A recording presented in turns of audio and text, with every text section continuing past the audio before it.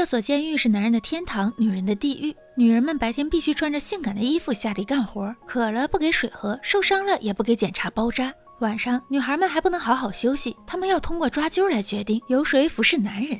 来到这个荒岛前，她们需要签署生死协议。只要签上这个协议，她们就彻底和外面的文明世界告别了。这里没有狱警，更没有规则，像极了原始时代。最简单粗暴的强者生存，弱者只能服从，可谓是男人的天堂，女人的地狱。这天，黑妹因为过失杀人而被送到岛上。她刚一上岛，就发现海滩上飘着一具尸体。然而狱警却视而不见，直接开着游艇转身离去。黑妹也彻底被流放在了这里。她刚打算在岛上模仿贝爷荒野求生，突然一个男人走了过来，邀请她去他们的营地。在那里有狱警给他们提供食物和饮水，她也不必一个人荒野求生了。黑妹拒绝了他。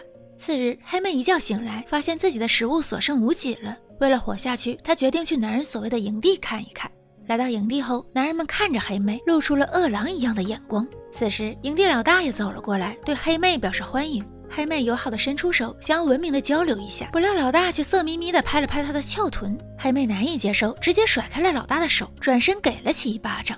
老大当场就怒了，毫不怜香惜玉的将她打倒在地，并用脚狠狠踩在黑妹头上。黑妹大声呼救，可在场的所有人却都用冷漠拒绝了她的求救。黑妹用求助的目光投向营地里仅有的三个女人，她们却也只是在一旁看着热闹。黑妹绝望了，她不得不接受自己身陷狼窝的现实。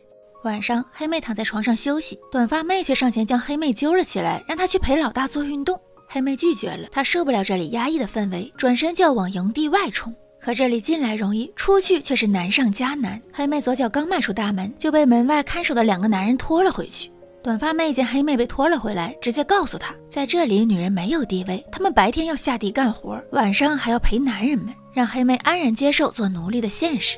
但黑妹是什么人？她发誓一定要干掉这里的老大，改变女人被欺辱的现状。然而理想很丰满，现实却很骨感。次日，黑妹还是得服从老大的指令，如耕牛般下地干活。而在一旁休息的男人们却看着身材火辣的女人们，露出了猥琐的笑容。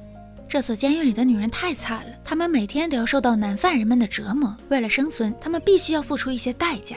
女人们劳累了一天，刚要躺在床上好好休息一下，老大却拿着名单走了进来，让女孩们进行抽签去服侍男人们。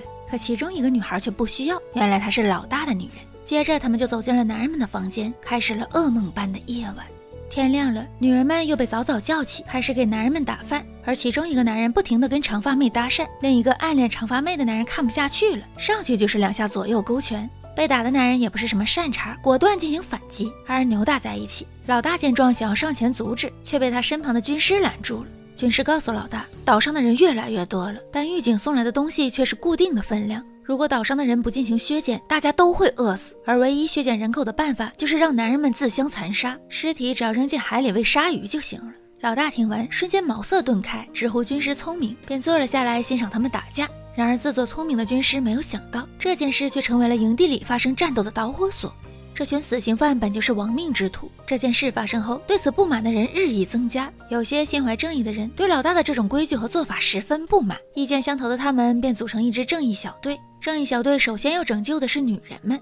这天，小队便趁他们在河边洗衣服时，把守卫送上了西天，将几人顺利救走。小队带着女人们逃到后山，但队伍里却混进了一个流氓。他对漂亮的短发妹起了歹心，幸好小队的其他人及时赶到制止了他。